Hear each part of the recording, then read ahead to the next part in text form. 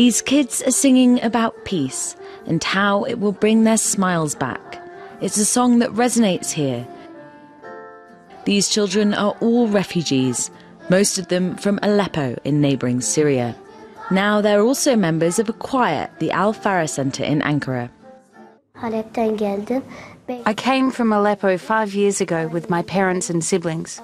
I didn't know how to play guitar, and I learned it here, and now I'm so happy.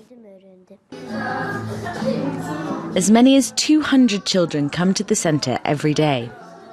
They say it's a safe space for them. I started to come to the center in the summer. It's so nice in here. It makes us happy. It feels like a family.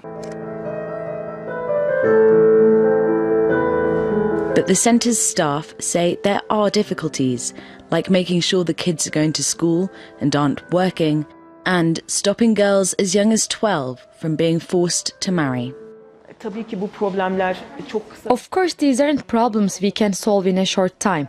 But we build trust with the families, we raise awareness and educate them on Turkish law, and it helps. We've seen them seriously decreasing in our three years here.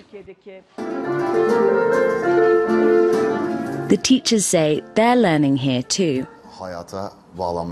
We've learned to appreciate life from them. We've learned it must go on under any conditions, no matter what you've been through. You should hold on to life with everything you have. And the music really helps the children connect with each other. When I come here, I have such a nice time with my friends. I feel like there is life here. And then when I go back home, I sing what I've learned here and I say, I will be famous.